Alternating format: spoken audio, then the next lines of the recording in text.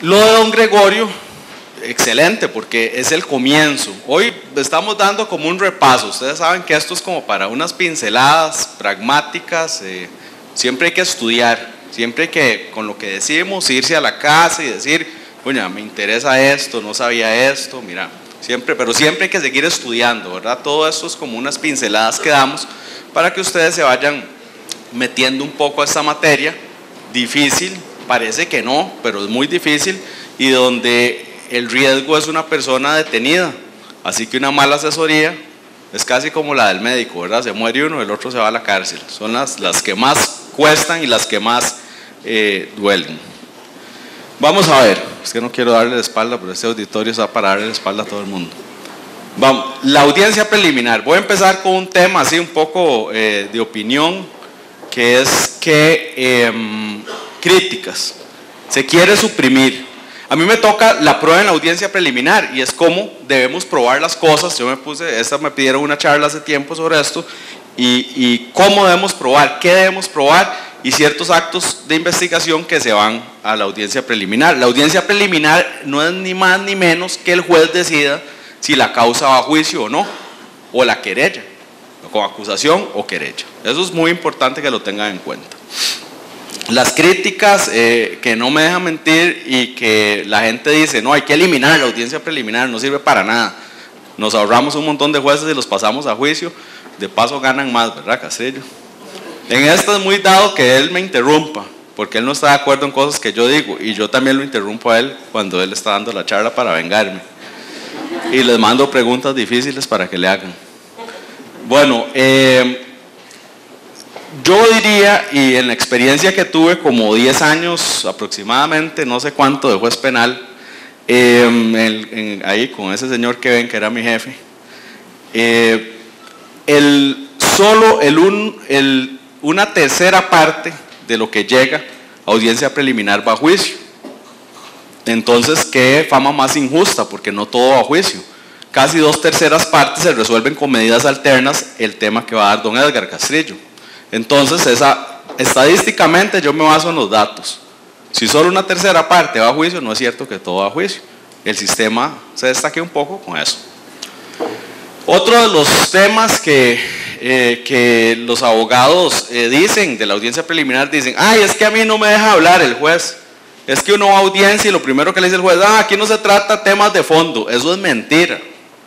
O sea, el juez que les diga eso está equivocado porque el derecho penal existe el principio del contradictorio, parte del derecho de defensa, donde usted puede contradecir lo que le está diciendo la otra parte. Si una parte le está diciendo a usted que tiene que ir a juicio su cliente, pues obviamente usted tiene que hacer todos los argumentos para que no vaya.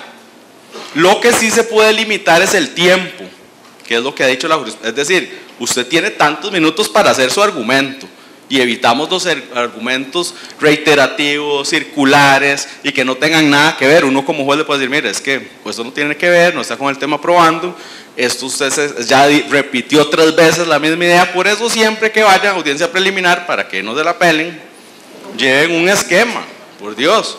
No lo van a leer, pero llevan un esquemita. Eso yo creo que desde la escuela le enseñan a uno con cartulinas a ver qué es lo que uno, como esto. Pero uno lo lleva ahí, voy a decir esto, voy a decir esto, voy a decir esto.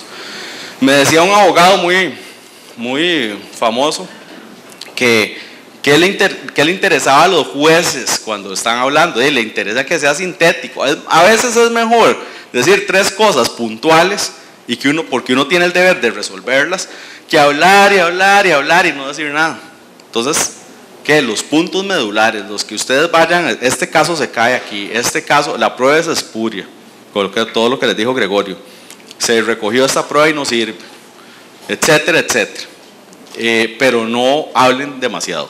Decía otro profesor que tuve que usted en cinco minutos tiene que convencer a la persona. Si ya después de los cinco minutos todo el mundo está pensando en el partido, en la selección, en si Keylor va a jugar, ¿entienden? Entonces todo eso es importante como experiencia.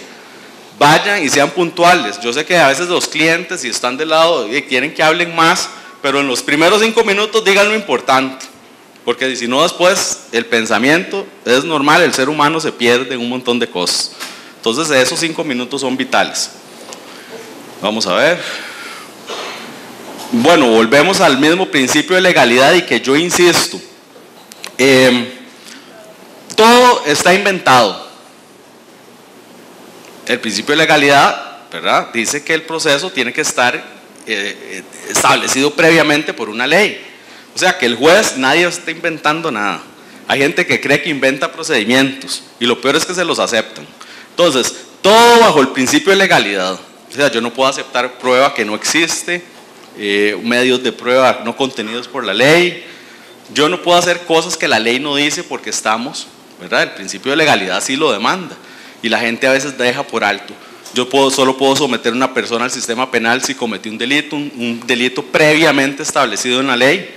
Pásame el, el agüita, la botella. Eso porque, porque la gente cree a veces en las audiencias y los juicios, ah, tengo la carta bajo la manga, como en las películas. Ahora la tiro. Y la tira es que no, nada pasó. Entonces el cliente lo condenan y, y qué feo, porque le rechazaron las pruebas y todo. Eso solo en las películas de Hollywood se ve, que patean la puerta y entra alguien con una prueba y ya se, se absuelve a la persona. Eh, la prueba, la misma sala ha dicho, no es un juicio. O sea, sí hay contradictorio, pero vamos, no es un juicio. La misma sala ha dicho, bueno, el rigor probatorio en la audiencia es sintético, no es tan extendido como puede ser en un juicio. Entonces, la prueba en el juicio, no, el juicio se recibe y se reproduce, pero en la audiencia no. Las partes hablan de cuál es su prueba para llevar a juicio. Entonces, ustedes nunca verán en una audiencia que se reciban testigos, salvo que sea para medidas cautelares, que después lo veremos. Pero usted no puede decir, señor juez, aquí le traigo cinco testigos para que me los reciben en la audiencia, pues, van a decir que él no cometió el hecho. O sea, no se los reciben, los dejan afuera. Porque a, través del deber de lealtad también, así como yo le creo al Ministerio Público que tiene cinco testigos que prueban el hecho y dice sobre qué van a declarar, y yo le digo a la defensa, bueno, tengo tales testigos que dirían lo contrario. Pero eso es una valoración que tiene que hacer el juez, pero no se reproduce prueba, salvo para medidas cautelares que lo vamos a ver más adelante. Vamos a ver. Entonces recuerden que no es un juicio no estamos en un debate y esa es la gran, la gran diferencia. Volvemos a lo mismo, la objetividad, igual vamos a ofrecer prueba a favor o en contra. Normalmente cuando ya llega el fiscal ahí con la acusación, ya tienen una hipótesis, acusatoria y ya es más difícil que ofrezca prueba de descargo a favor. Inviolabilidad de la defensa, bueno, y participación de actos, eso ya lo vio Gregorio. Ya vimos ciertos aspectos importantes de la prueba que lo vio Gregorio. Idioma. Voy a retomar algunos temas que me parecen importantes. El idioma es en español.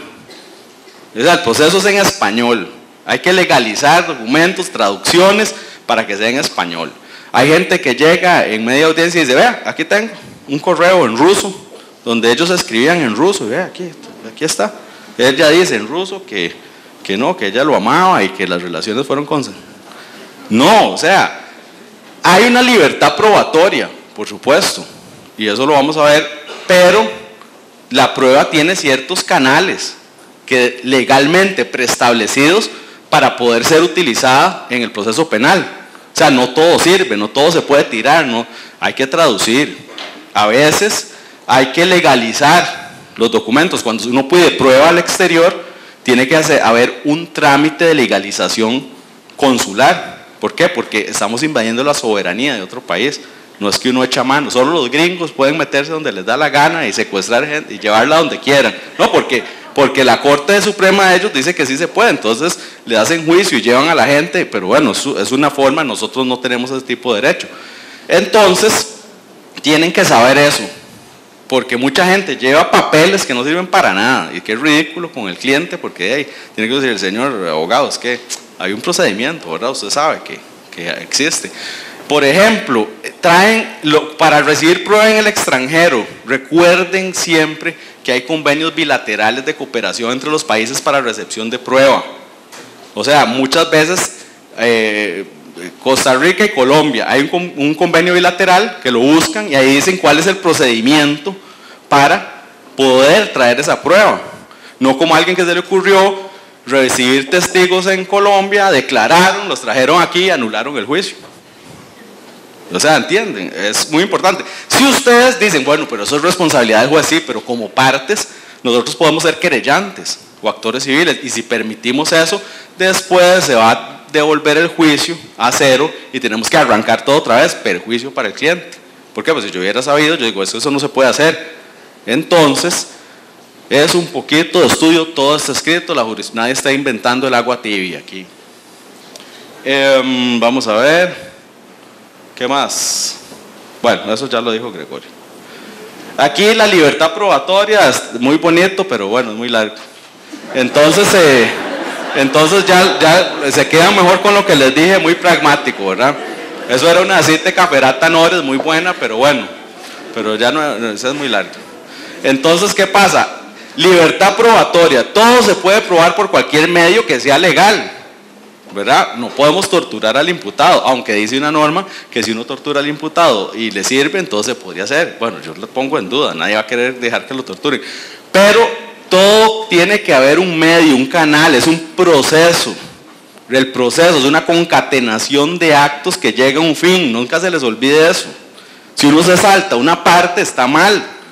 Abogados, abogadas, o sea, tengan eso en cuenta. No es que empezamos al final ni a la mitad. Todo tiene una concatenación de actos. Por eso es un proceso.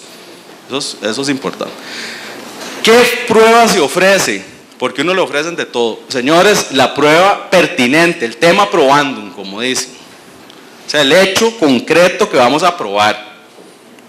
Por ejemplo, muchos delitos sexuales llega y dice, vamos a ofrecer la lista, una lista de vecinos 150 que dicen que el hombre es demasiado bueno y jamás podía hacer eso. Eso no importa, eso no nos interesa. No pierdan el tiempo recogiendo las firmas. ¿Eso qué tiene que ver? No estuvieron ahí. Entonces, no hagan el ridículo. No, no es cierto. Esos son tips. Este, esto es un curso de iniciación, porque eso se lo damos a jueces y fiscales y ya la profundidad se pone un poco más, ¿verdad? Más, pero, pero eso es para que ustedes, puña, aquel chaval que no sabía nada me dijo eso. Y, y, tal vez tiene razón, mejor no hago esta pelada. Entonces pongan atención a estos pequeños detalles.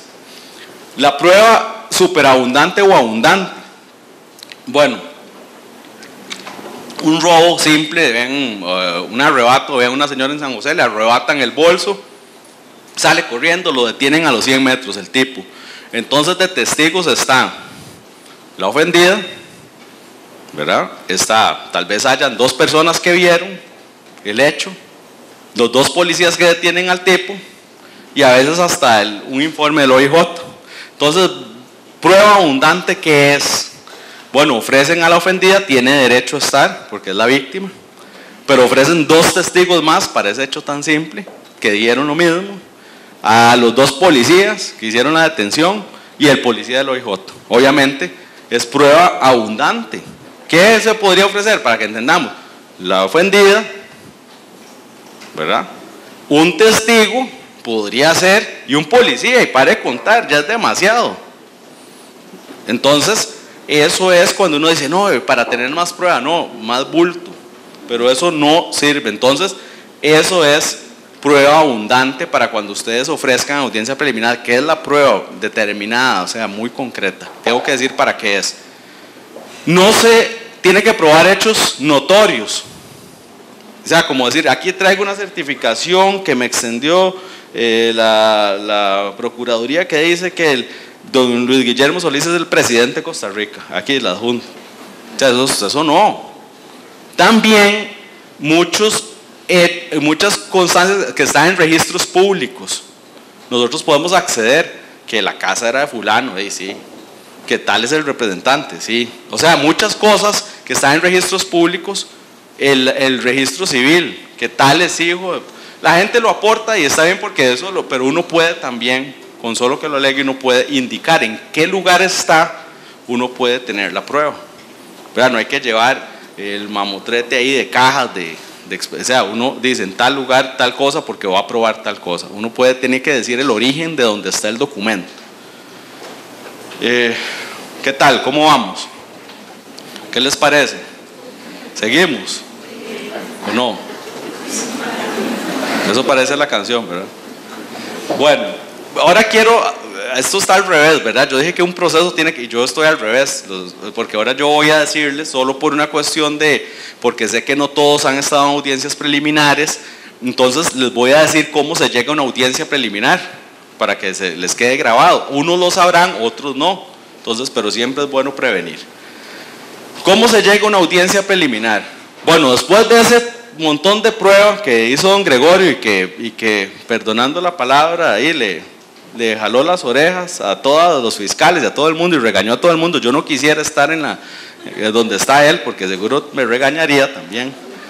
Entonces, solo después de eso el fiscal dice, ustedes vieron que don Gregorio puso que hay una, eh, un inicio, ¿cómo se llama? La, la valoración inicial. Se hace una valoración final después de que se recibe toda la prueba y el fiscal dice, ah, voy a acusar. Sinceramente voy a acusar. Entonces, cuando el fiscal decide acusar, se va a audiencia preliminar.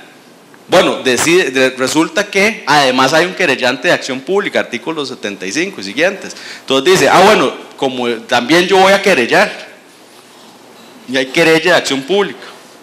Entonces pueden ir las dos. Puede ser que solo haya una querella de acción pública o puede ser que solo haya una acusación. Entonces, siempre que haya una querella de acción pública o una acusación, se va a audiencia preliminar.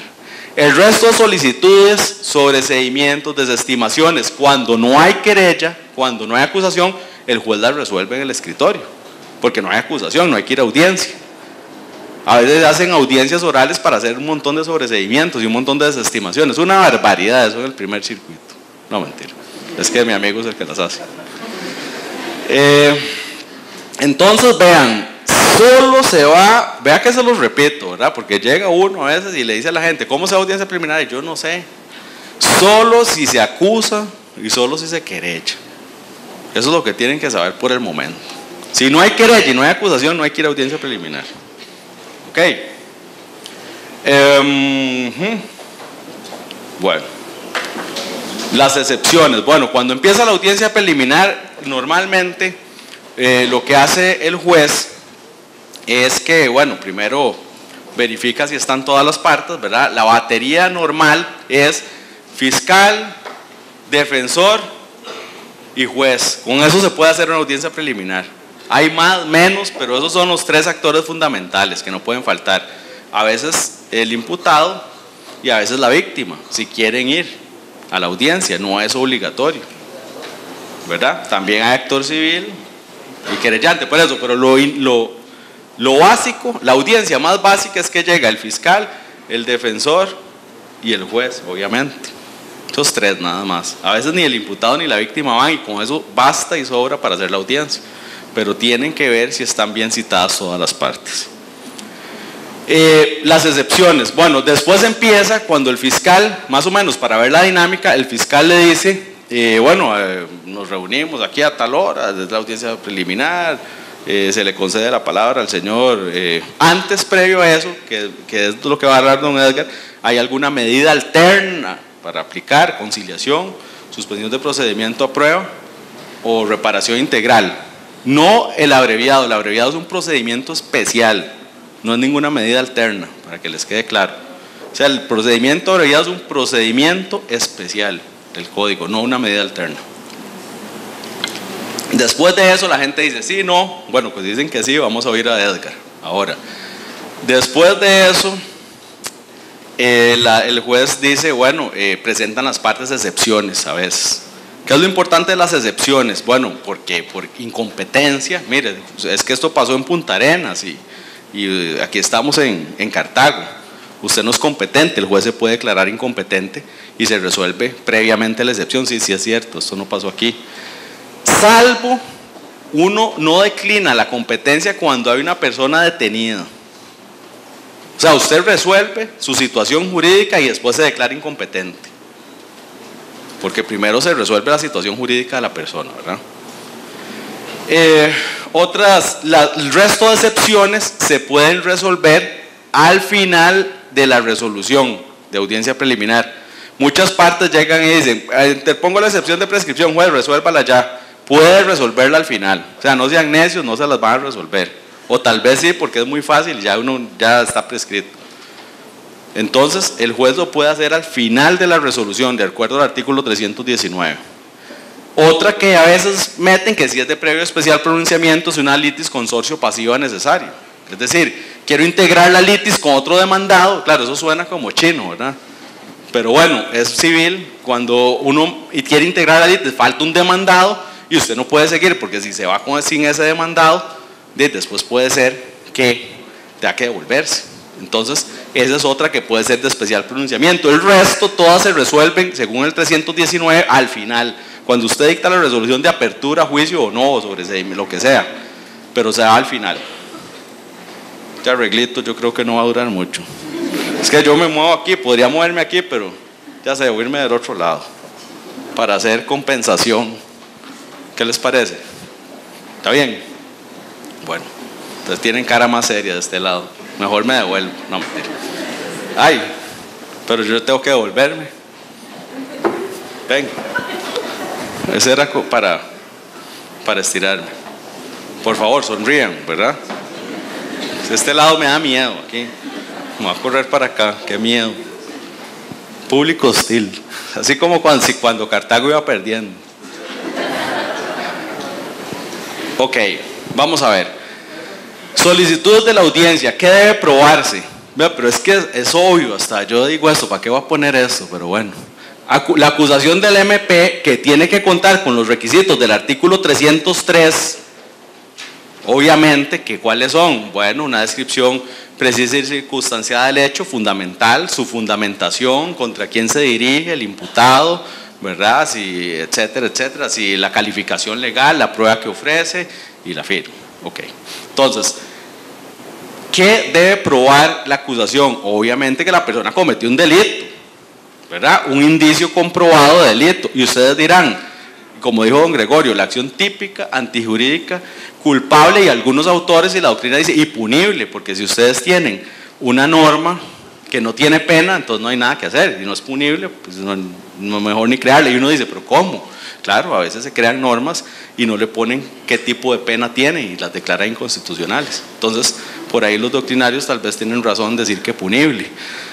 Y ustedes dicen, pero ¿cómo? Si esa instancia, ¿cómo no va a haber cometido un delito? Claro, y si ustedes vieran que cuando uno está en juicio y el 50% de las absolutorias, dice el fiscal general de la República cuando asumió, eran por atipicidad, o sea, la norma no está comprendida dentro de una figura penal, entonces usted dice, eh, ¿cómo es esto? Entonces sí, hay que revisar todo eso y eso es lo que tiene que dirigirse el Ministerio Público. Por el contrario, que tiene que pedir la defensa y un sobreseimiento definitivo. ¿Para qué? Decir todo lo que argumentó el Ministerio Público, decir, no, esto no es cierto. Y ahí es donde Gregorio tiene razón, porque a veces dicen, es que la audiencia preliminar no hay que ver cuestiones de antijuricidad, ¿cómo que no? Si es un delito, el delito es todo. Es que no hay que ver cuestiones de culpabilidad. Y si es evidente que el sujeto cometió o no un delito, ¿verdad? un estado de inimputabilidad, pues hay que verlo. No se puede, es derecho de defensa y hay que dejar que las personas aleguen eso. ¿Usted dijo eso, Gregorio? Estoy equivocado. No, bueno, no me regaña, ¿verdad? El Gregorio regaña.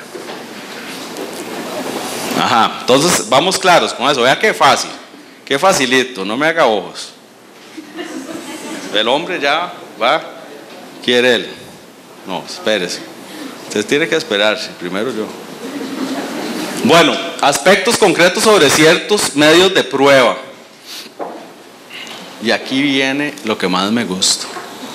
Ya esto lo vio Gregorio, así que yo no voy a dar los requisitos, les voy a decir qué es lo que no me parece. La requisa, todo el mundo sabe que cuando hay una requisa ilegal, nada que hacer. Si ahí se extrae la prueba y no hay otro medio probatorio. Entonces, por ejemplo, va un fulano de dudosa apariencia caminando, lleno de tatuajes, pelo largo, piercing, como decía una, una muchacha en un examen, ay, ese es mi hijo. Y nosotros, ah, bueno. Esa era una pregunta, pero ella dice que era el hijo. Ah, bueno, y es que agregamos, va un muchacho caminando cuando dijo eso, con mota en la mano, fumando, lleno de piercing, y ahí fue, dijo, ay, ese es mi hijo. Entonces, eso nos hizo gracia. Entonces, la cosa es que tatuado y la policía dice, no, este hombre es un sospechoso, ¿verdad? Este hay que detenerlo, ya. Algo debe andar, si no algo hizo. ¿verdad? Entonces resulta que eh, de lo detienen y le decomisan un arma. Portación ilegítima de arma, permitido. No tiene permiso. Y entonces lo acusan. Pero resulta que la requisa fue ilegal porque no hay un testigo diferente a la policía. Las requisas, Costa Rica partió de un sistema de desconfianza hacia la policía para no implantar prueba y entonces tiene eso, una persona diferente a la policía. Y si eso no está, la requisa es ilegal y por eso el decomiso es ilegal. Entonces, usted llega a la audiencia preliminar, el fiscal lo acusa de portación ilícita de arma permitida y usted dice la defensa sobre seguimiento, porque esa prueba es espuria, es ilegal, la requisa es ilegal, igual sobre seguimiento. ¿Ven qué fácil? Porque sí, no solo la apariencia de la persona, tiene que seguirse un procedimiento para llegar a una buena requisa y con eso que la prueba sea válida. Les iba a contar una vez que a mi mamá le robaron unas flores de Itao, pero es muy largo. Es que, bueno, la cosa se los voy a contar. Mi mamá, mi mamá tiene unas flores de Itao enfrente de la casa y las cuida siempre para hacerlas. A mí no me gustan mucho, pero bueno. Entonces un día viene en carro y ve el tipo con las flores de Itao corriendo y se le pega atrás y le pita y ella como tiene complejo policía me va a matar si me y entonces le pita y le dice y le pide hasta la cédula lo requisa y le quita las flores de Itao y entonces el tipo muy bravo le dice tome roca tome esas flores de Itao y cuando llega a la casa toda contenta con el decomiso se lo da a la empleada y le dice no es Idalia se llama no es que me robaron unas flores de Tao y tuve que detener al tipo ahí, como usted en una familia que somos jueces penales, entonces ya está acostumbrada. Y le dice la Idalia, de ahí doña Miriam, pero no ve que las flores están ahí enfrente. Ve, una requisa ilegal. Eso sí fue ilegal. No le han robado a la pobre, más bien le robó, le hurtó, le robó lo menos al otro tipo. Eso sí es ilegal. Pobre mi mamá. Bueno, eh, ya esto lo vio Gregorio, pero el punto es este, siempre. Ay, que, la, que esa espuria la prueba de un registro de vehículos. ¿Por qué? Ay, porque la hizo el fiscal. Tenía que ser, la puede hacer el fiscal, la policía o el juez. Entonces no, no pidan que la prueba sea espuria porque la hizo el fiscal un registro de vehículos.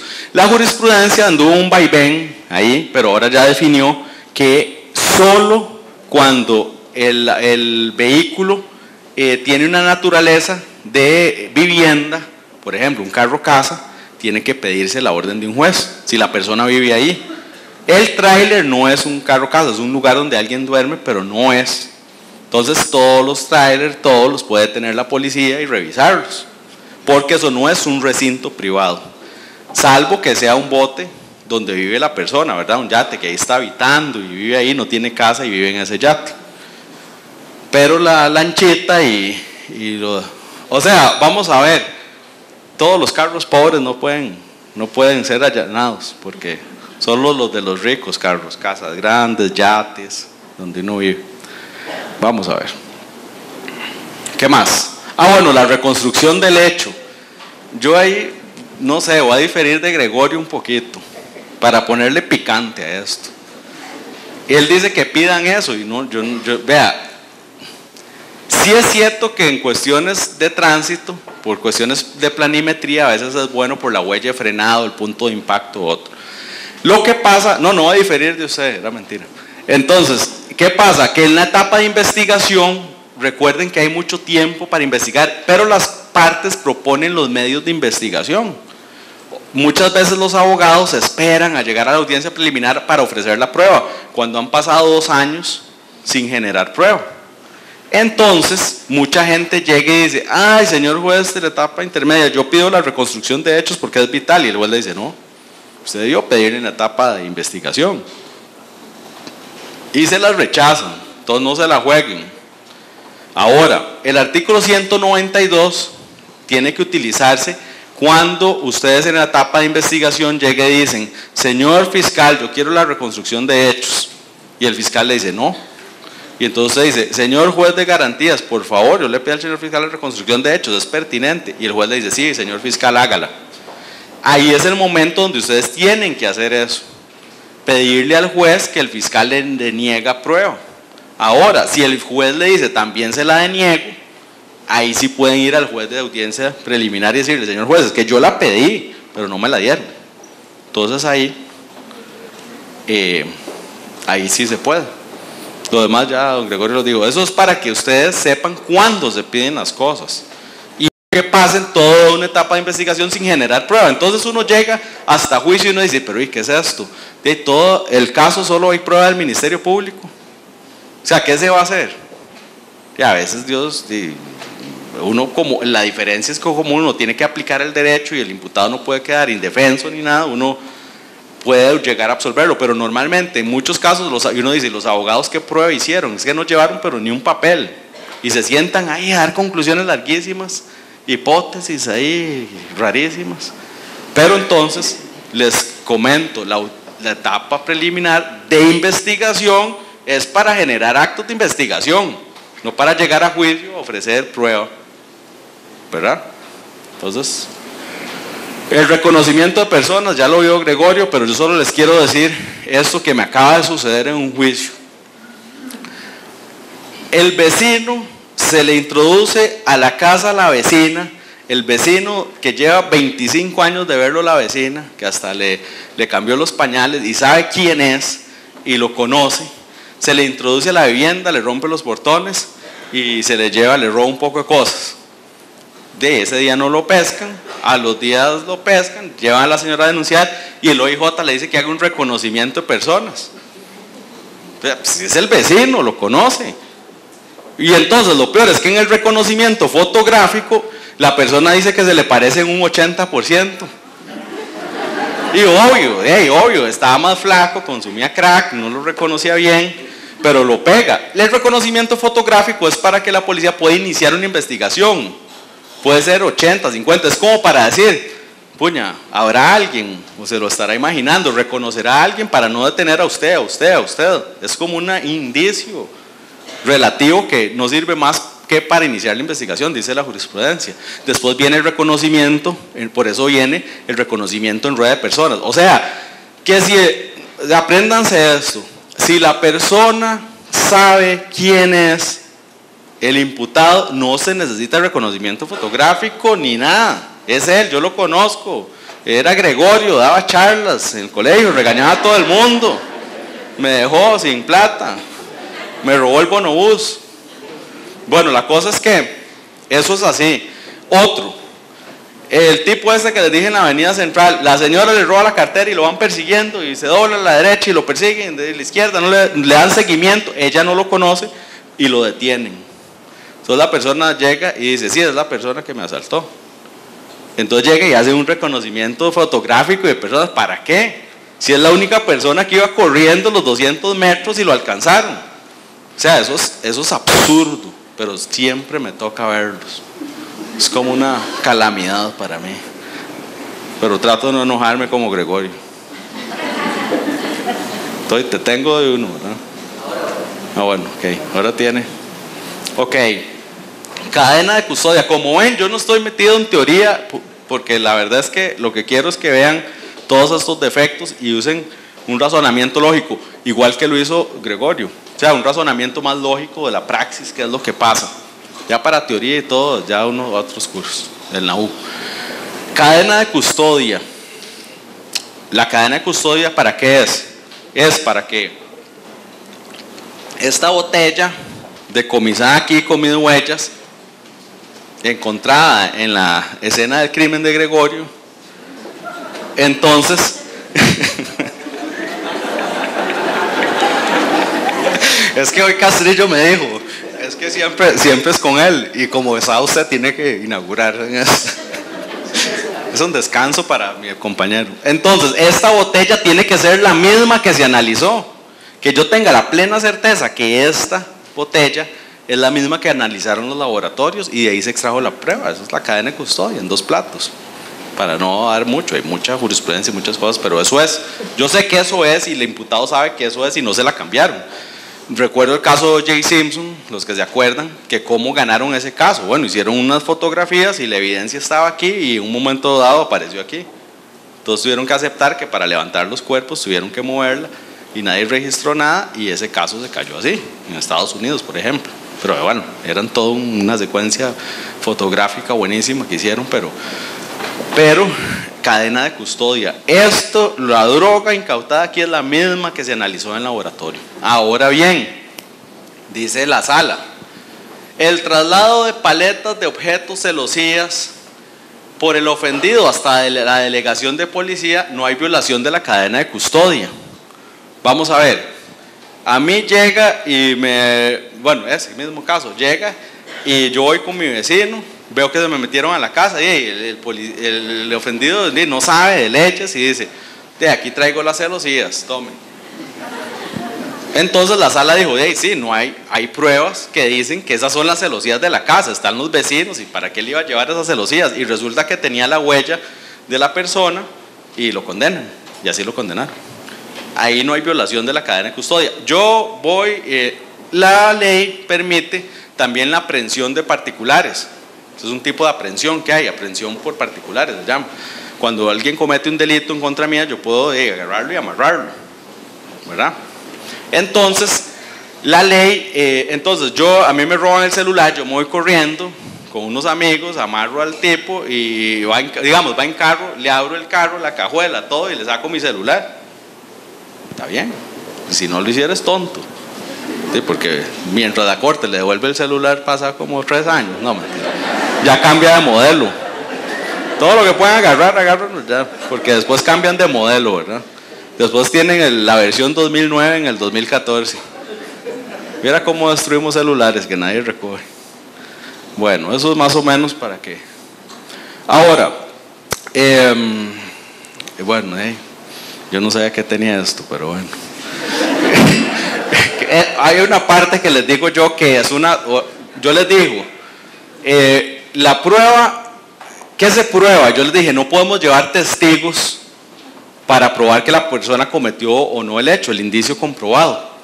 Pero sí podemos llevar testigos para cuando se estén aplicando medidas cautelares. A veces además de que lo acusan, la persona se le está venciendo la, prisión, porque digamos, coincide la audiencia preliminar con el vencimiento de prisión preventiva, entonces el fiscal necesita pedir la prórroga de la prisión preventiva. Entonces en la audiencia preliminar, y entonces la defensa para defenderse dice, de, yo tengo que eh, llevar prueba para ver que esta persona no tiene los peligros que se utilizan para aplicar una prisión preventiva. Pues yo no le saqué nada. Pues ya va a terminar. Entonces, ¿qué es, ¿cómo se dicta una medida cautelar, una prisión preventiva? Vean ese cuadro. Bueno, ni la tabla de Hill Chaverry. O sea, eso es como la tabla periódica, pero vamos a decir de las medidas cautelares para por si salen preguntados. Vean, sospecha suficiente más pena de prisión. Ese es el requisito básico. ¿Verdad? Nadie, indicio, ¿qué sospecha suficiente? Indicio comprobado. Indicio comprobado significa que la persona con esa em, posibilidad más positiva que negativa cometió el delito. Es una probabilidad, no es certeza. Esa es otra cosa, no hay certeza. Igual lo que se lee a audiencia preliminar no hay certeza, hay una probabilidad muy positiva, muy más allá que lo que nos dice una probabilidad negativa. Pero necesita una pena de prisión. Nadie se puede detener ni aplicar prisión preventiva si no tiene los requisitos, si no tiene pena de prisión. O sea, por una contravención yo no puedo ordenar una prisión preventiva, ni por una multa. ¿Verdad?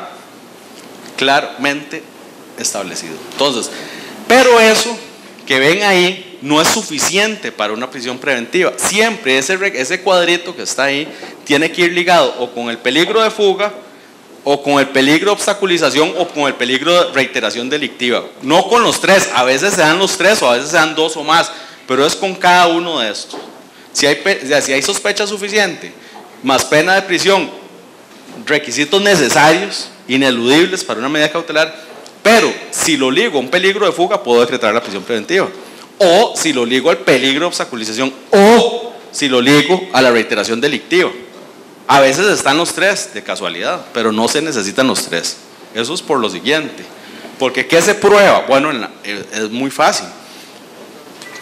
El peligro de fuga siempre históricamente y doctrinariamente, y los libros lo verán, que se ligó con la gravedad de la pena. O sea, decían, oh, entre más pena tiene este delito, es muy probable que la, que la persona se, se fugue. ¿Y porque quién va a querer estar, ¿verdad? Un delito de homicidio calificado, 25 a 35 años, de 20 a 35 años, ¿quién va a querer soportar eso? Pero bueno, nuestra sala dice, bueno, no, pero no solo hay que probar la gravedad de la pena, porque también podemos poner penas de prisión preventiva, digo, eh, oiga, penas, eh, mm, prisiones preventivas por delitos pequeños. O sea, no, ya no lo de la gravedad de la pena en Costa Rica quedó en la historia, porque antes no se podían poner prisión preventiva cuando los delitos eran menores de tres años, pero ahora no, ahora sí se puede. Entonces, ¿qué se prueba? Bueno, el Ministerio Público tiene que probar que la persona no tiene arraigo. Entonces tiene que hacer, llevar para decir, mire, la persona no tiene, no tiene trabajo, eh, no tiene domicilio, tal vez es extranjero indocumentado, no solo por ser extranjero, está indocumentado, no tiene domicilio, ha falseado datos en otro proceso eh, o el mismo proceso dijo yo vivo ahí, no viví ahí, ¿verdad? Tiende a falsear los datos, empieza a darse el, peligro de fuga, la magnitud del daño causado, ¿verdad? Mató a 50 personas, es muy exagerado, pero puede ser. Comportamiento en otros procesos, mire, en otro proceso resulta que la persona se, fugó o, o estaba rebelde todos les llevan en otros procesos eso, entonces uno dice, bueno, eh, la verdad es que hay eh, un indicio comprobado, hay, tiene pena de prisión, ah bueno, y la persona está indocumentada y no tiene domicilio, prisión preventiva, por ejemplo. Eso es como decirlo, hay que irse al caso concreto, pero más o menos. Obstaculización de la investigación. Bueno, resulta que igual, la persona resulta que durante el procedimiento bueno, y al revés, para ir al peligro de fuga, ¿qué hace la defensa? No, la persona sí tiene domicilio, que tiene que probar que sí tiene domicilio, que sí tiene trabajo. Entonces, muchas veces estos testigos que se llevan a audiencia preliminar es para decir, no, mire, él no tenía trabajo, pero aquí tenemos la persona que le va a dar trabajo. Mire, no tenía domicilio, pero resulta que ahora se va a quedar con la tía o con esta persona. Entonces, la defensa hace prueba para decir, no, eliminar esa falta de arraigo, ese peligro. O sea, la defensa hace lo contrario. El peligro de obstaculización, bueno, por amenaza de testigos o por destrucción de pruebas, eso es lo general. Entonces, si se da esto, hay pena de prisión, hay indicio comprobado, más que la persona amenazó a un testigo, ¿verdad? O va a destruir prueba, es el gerente del banco que están allanando y tiene la oficina todos los documentos. Todos dicen, bueno, mientras que está esto, hay peligro de que él sigue aquí, pueden interponer otra medida cautelar menos gravosa, pero bueno, se dan los mismos requisitos. Entonces usted genera la prueba para decir, él va a destruir prueba. No se puede generar de manera, eh, hacer de manera genérica. Ah, él va a destruir prueba. Ah, es que él va a amenazar testigo. No. Tiene que decir específicamente el fiscal por qué va a destruir prueba. Por ejemplo, muchas veces dice, es que va a destruir prueba y resulta que ya se recabó toda la prueba en audiencia preliminar, ya está toda recabada. Entonces uno dice, ¿qué prueba destruir si ya está totalmente asegurada la prueba? No cabría la obstaculización. O eh, amenaza a testigos y el testigo ya no está en el país o vive larguísimo, etc. Entonces hay que ver objetivamente que ese accionar de esa persona va a, a objetivamente obstruir la prueba. No es porque a mí se me ocurra. Y este caso de reiteración delictiva es porque se hace una prognosis delictiva y dice, bueno, en el futuro esta persona puede cometer más delitos. Por ejemplo, es la típica persona que tiene un robo, tiene su robo, tiene su robo, y la gente dice, cayó, está pena de prisión, hay indicio comprobado, hay testigos que lo vieron, pero, y además, si lo dejamos suelto va a cometer otro robo. Eso se tiene que analizar muy bien.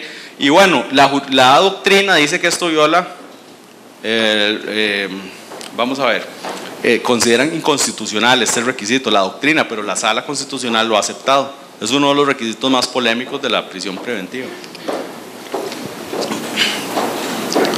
Pero bueno.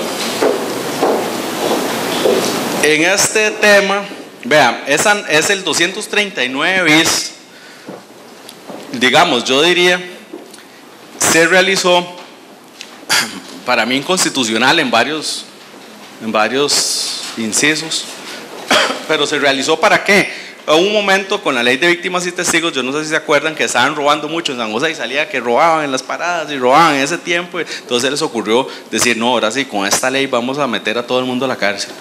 Entonces el 239 dice que se aplica la prisión preventiva.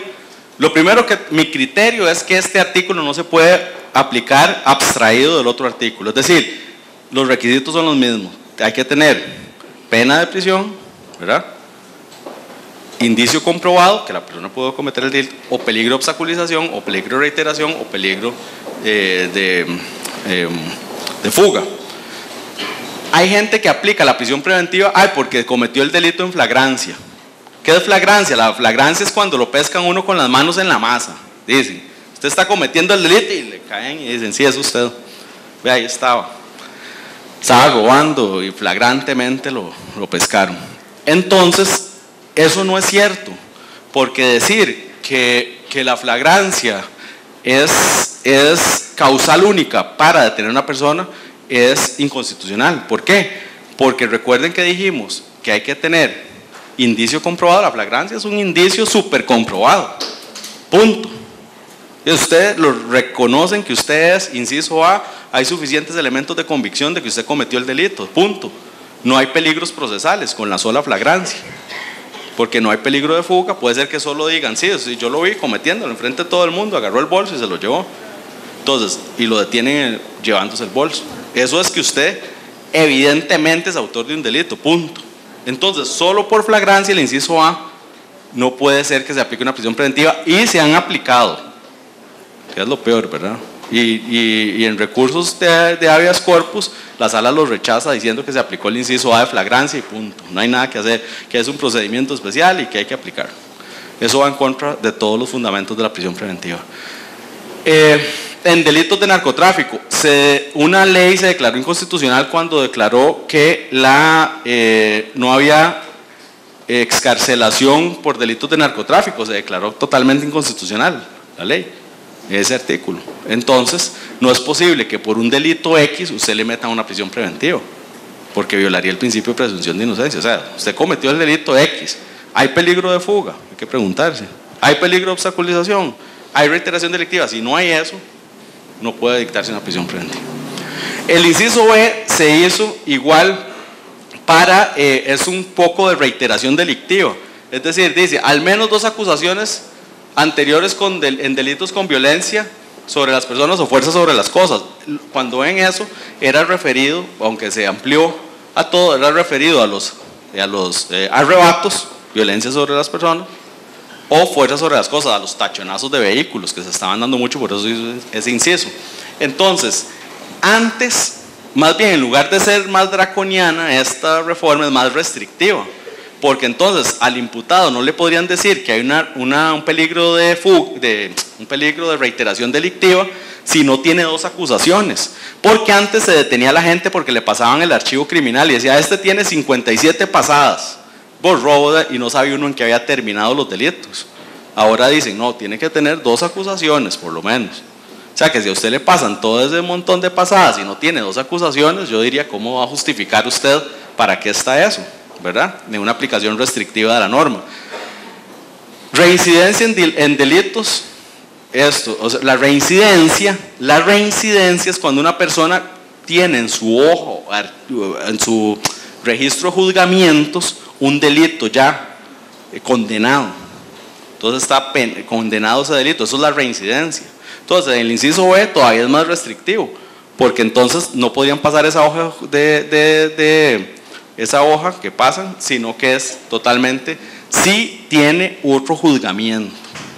Si no lo tiene, pues entonces no se podría decirla. Yo más bien digo que esto vino a, a restringir la interpretación de lo que es la, la reiteración delictiva, aunque no se aplica así, pero bueno. Ofrecimiento de prueba, bueno, esto ya más o menos eh, importantísimo. Cuando yo ofrezco la prueba en la audiencia preliminar, yo tengo que decir para qué es. Si es un testigo, tengo que decir el testigo fulano de tal que vive en tal lugar, para efectos de citarlo, es importante poner la dirección, va a decir que esto, esto, esto y esto. Si yo no lo digo, es, hay, pena, hay so pena de que le declaren uno eh, le rechacen la prueba.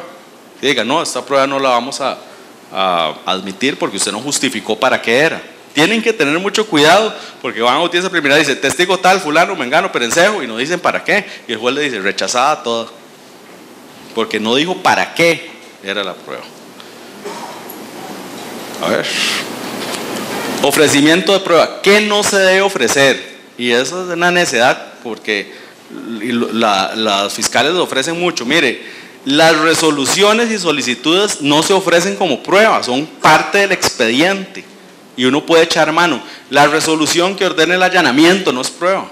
La solicitud que ordene el allanamiento no es prueba. O sea, esos son parte de las actuaciones que hay un expediente. Punto.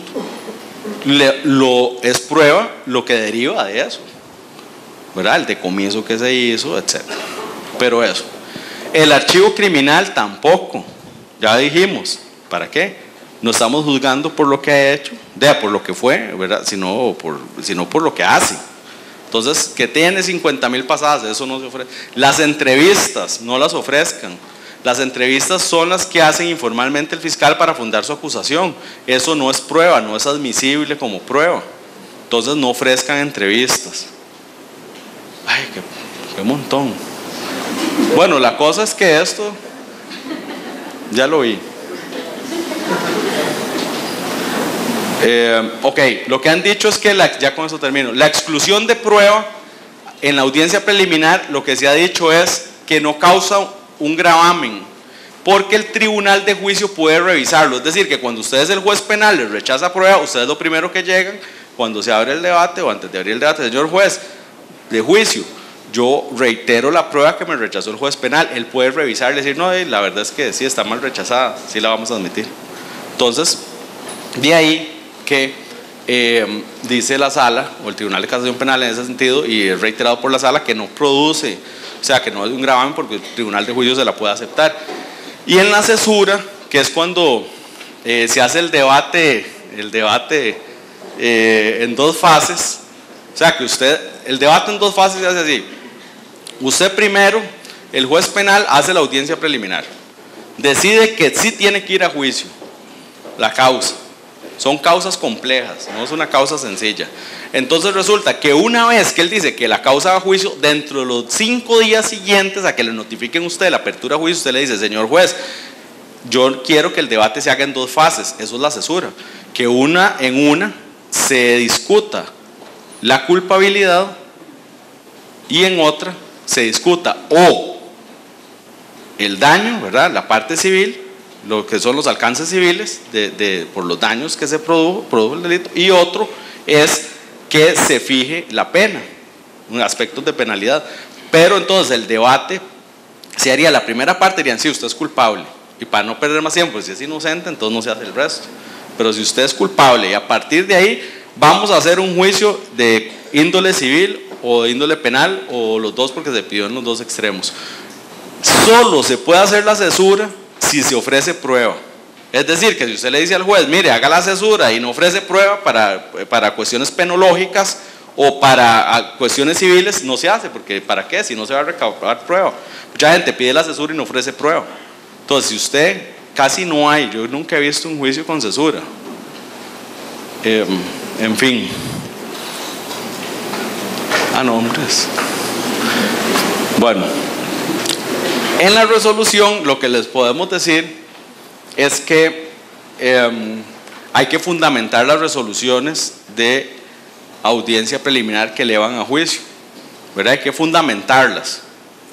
Es fundamental porque si no, yo diría que habría que, declararlas ineficaces. No pasa casi nunca, eh, pero podría ser un, caso y ya. Gracias.